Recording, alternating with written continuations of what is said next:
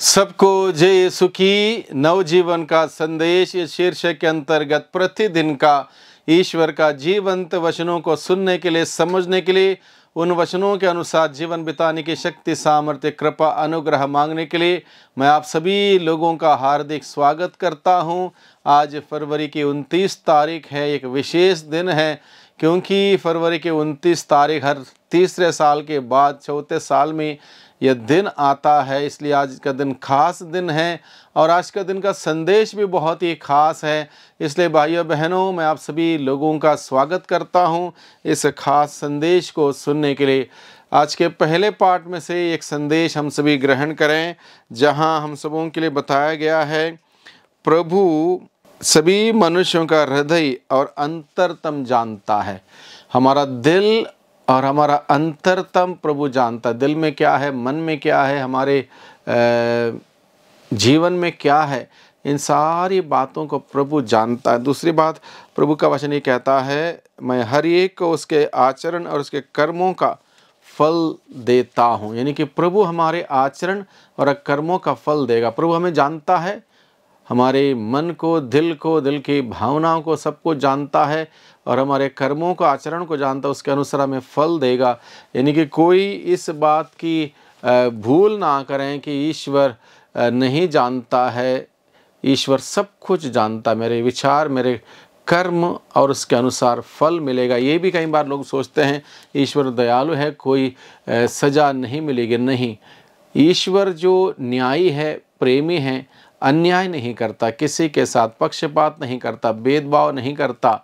भले बुरे दोनों पर सूर्य उगाने वाला वो ईश्वर, धर्मी अधर्मी दोनों पर पानी बरसाने वाला वो ईश्वर, किसी के साथ भेदभाव या पक्षपात नहीं करता।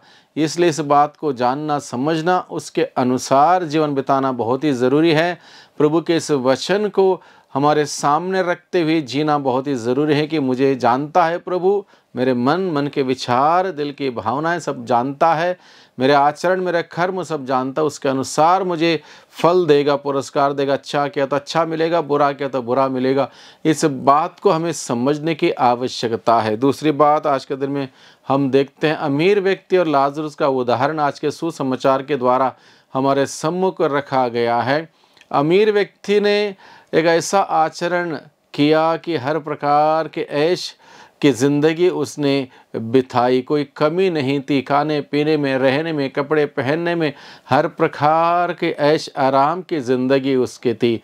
रोज़ वह दावत उड़ाया करता था। लेकिन उसके घर के फाटक के पास लाजरुस नामक एक गरीब व्यक्ति था। जिसको खाने के लिए कुछ नहीं था, पहनने के लिए कुछ नहीं था, हर प्रकार से वो तंगी हालत में था। लेकिन इस अमीर व्यक्ति ने ये नहीं देखा कि मेरे घर के फाटक के पास इस प्रकार का इंसान पड़ा रहता है, जिसकी घाव कुत्ते आके छाट लेते हैं। इतना दयनीय उसकी स्थिति है, मैं उसके लिए कुछ करूँ, कुछ मदद करूँ, कुछ कपड़े पहनाऊं, उसकी, उसको खिला, खाने के लिए रोटी दूँ, पीने के लिए पानी दूँ, ऐसी सेवा मैं करूँ, उसने कभी नहीं सोचा। भले ही वो, उसने हर दिन दावत उड़ाई, लेकिन इस गरीब व्यक्ति की वो ध्यान नहीं दिया, जिस वजह से उसको बहुत बड़ी सज़ा भोगनी पड़ती है और इस उदाहरण के द्वारा हमें बहुत कुछ हमें सीखना, सीखने की आवश्यकता है। अगले विषय है आज के दिन में हम सबों के लिए मनन चिंतन करने के लिए।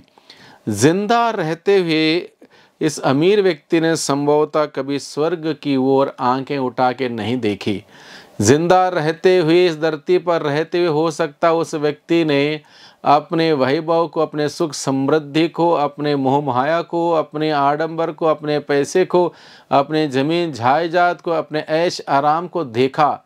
लेकिन उस वक्त उसने स्वर्ग की ओर आँखें ऊपर उठाकर उस ईश्वर की उपासना नहीं की, आराधना नहीं की, स्तुति नहीं की, धन्यवाद नहीं दिया, ईश्वर को याद नहीं किया, जिस वजह से उसको नरक जाना पड़ा और नरक जाने के बाद वह व्यक्ति स्वर्ग की ओर अपनी आँखें उठाकर देखता है। और क्या देखता है?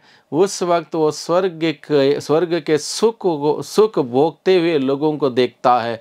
जैसे लाजरुस जो उसके घर के फाटक के पास पड़ा हुआ करता था, वो भी मर गया था और वो स्वर्ग पहुँच गया था। पिता इब्राहिम के गोद में वो बैठा हुआ देखता है और ये देखकर उसको तकलीफ़ होती है। दुनिया में रहते हुए मैंने ऐश आराम ज़रूर किए लेकिन अब मैं उसकी सज़ा के रूप में, इस नरक में यांत्रणाएँ सह रहा हूँ, कष्ट पीड़ा सह रहा हूँ और उस बात को अनुभव करते हुए वह लाजरस को जब देखता है, लाजरस सुख भोगते हुए देखता है, उसको उसकी तकलीफ़ बढ़ जाती है। और इस प्रकार से जब उसकी तकलीफ़ बढ़ जाती है, उस वक्त वो प्रार्थना करने लग जाता। संभवतः उसने जीवन में इस धरती पर रहते वक्त प्रार्थना नहीं की, ईश्वर को याद नहीं किया। ईश्वर के नियम, कानून, कायदों पर उसने ध्यान नहीं दिया।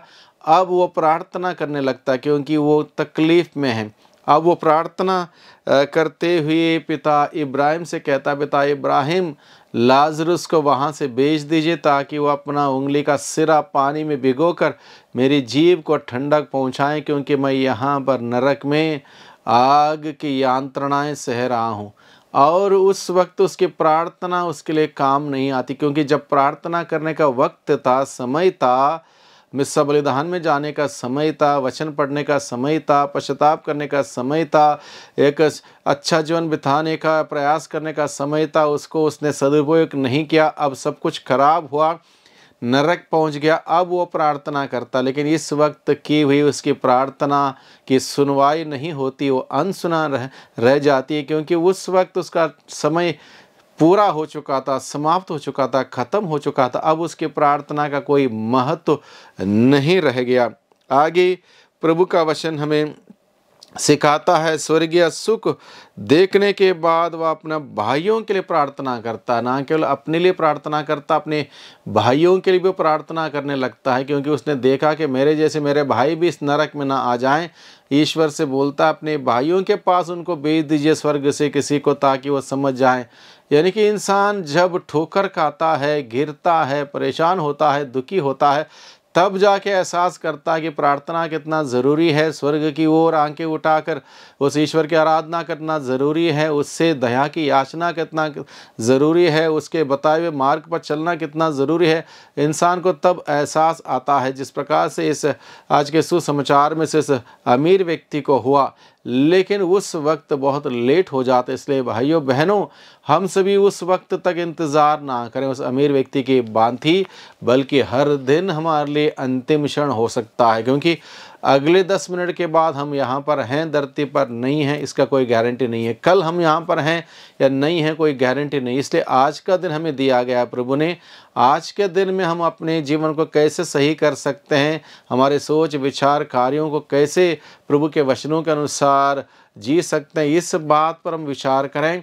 और गंभीरता से उस प्रभु से प्रार्थना करें ताकि हम कभी भी ज़िंदगी के किसी भी मोड़ में हम गुमराह ना हो जाएँ पथभ्रष्ट ना हो जाएँ, बल्कि प्रभु के बताए हुए मार्ग पर हम सभी चल सकें। अगर ऐसा करेंगे, निश्चित रूप से हम स्वर्ग या सुख भोग पाएँगे, अन्यथा स्वर्ग या सुख से वंचित हो सकते हैं। उस अमीर व्यक्ति की बात है, जिसने इस धरती पर रहते हुए किसी प्रकार से ध्यान नहीं दिया, उस ईश्वर की ओर प्रार्थना के लिए, संस्कार के लिए, जिसके वजह से उसका नरक जाना पड़ा। इस संदेश के साथ प्रभु हम सबों को सतर्क करता, सावधान करता है। हम उस अमीर व्यक्ति की बातें लापरवाह का, गैर जिम्मेदार का जिंद, जीवन हम ना जिए, बल्कि एक जिम्मेदार व्यक्ति बने।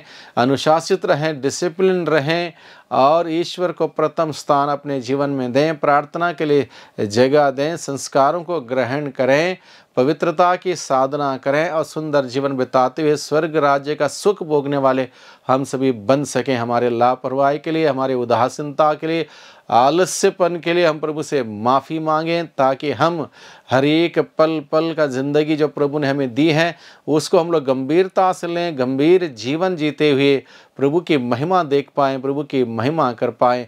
आइए हम सभी प्रार्थना करें, सर्वशक्तिमान पिता परमेश्वर। धन्यवाद देते हैं आज के दिन के लिए, आज के वचनों के लिए, आज के वचनों के द्वारा हम सबों से बातें करने के लिए, वचनों के द्वारा हम सबों को स्पर्श करने के लिए हम सबों को, हम सभी आपको धन्यवाद देते हैं। और इन इस संदेश के अनुरूप, इस वचन के अनुरूप जीवन बिताने की शक्ति, सामर्थ्य मांगते हैं। प्रभु हम सभी दुर्बल है, कमी कमज़ोर से भरे हुए लोग अपने आत्मा के बल से, हिम्मत से, साहस से से हम सबों को भर दे, जिससे कि प्रभु आपके दृष्टि में जो उचित है अच्छा है, नेक है, उस जीवन को जीते हुए आपके नाम की महिमा कर पाए, दुआ करते हैं। उद्धार करता यीशु मसीह के नाम से, आमीन।